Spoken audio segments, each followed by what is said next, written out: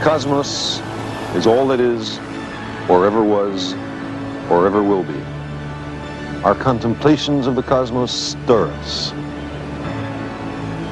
There's a tingling in the spine, a catch in the voice, a faint sensation as if a distant memory of falling from a great height.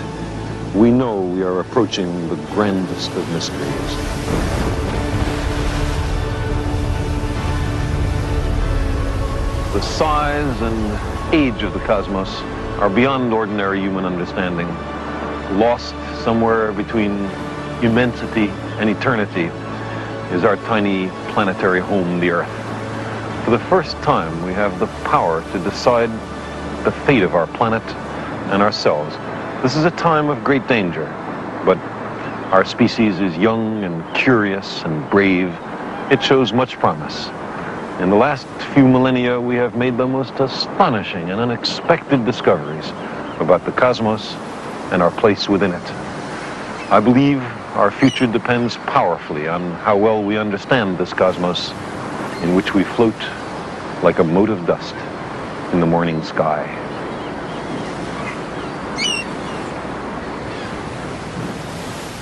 We're about to begin a journey through the cosmos. We'll encounter galaxies and suns and planets, life and consciousness coming into being, evolving, and perishing. Worlds of ice and stars of diamond, atoms as massive as suns, and universes smaller than atoms. But it's also a story of our own planet and the plants and animals that share it with us. And it's a story about us, how we achieved our present understanding of the cosmos, how the cosmos has shaped our evolution and our culture, and what our fate may be.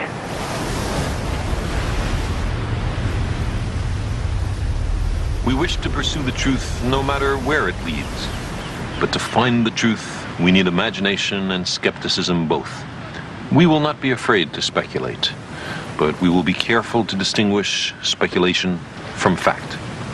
The cosmos is full beyond measure of elegant truths, of exquisite interrelationships, of the awesome machinery of nature.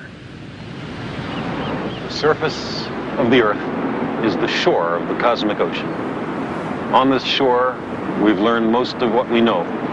Recently, we've waded a little way out, maybe ankle deep, and the water seems inviting. Some part of our being knows this is where we came from. We long to return. And we can, because the cosmos is also within us. We're made of star stuff. We are a way for the cosmos to know itself. The journey for each of us begins here.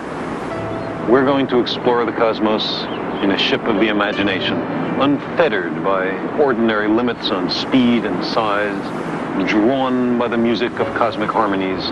It can take us anywhere in space and time.